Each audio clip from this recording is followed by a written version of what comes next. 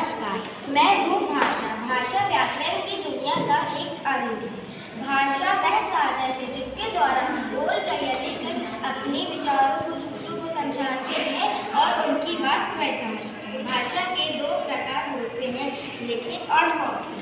ये है लिखित नमस्कार, मैं हूँ लिखित भाषा। जब हम लिखकर अपने भाव या विचारों को प्रकट करते हैं तथा पढ़कर दूसरों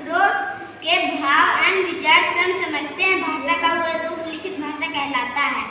नमस्कार मैं मौखिक भाषा मुँह से बोली जाने वाली वह भाषा जिसे सुनकर हमें किसी के भाव या विचारों का पता चलता है उसे मौखिक भाषा कहते धन्यवाद।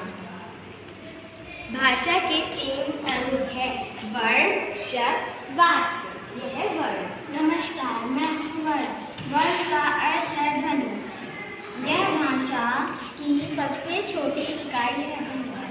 नमस्ते मैं हूँ शब्द। शब्द शब्द वर्णों शब्द वर्णों शब्द वर्णों का वर्णों का वह सार्थक समूह है जिसका एक जिसका एक निश्चित अर्थ होता है। नमस्कार मैं हूँ अ, शब्दों का वह मेल जिसे कोई बात पूरी तरह तरह से समझ में आ, तरह से समझ में आ जाती है, उसे वाक्य कहते हैं।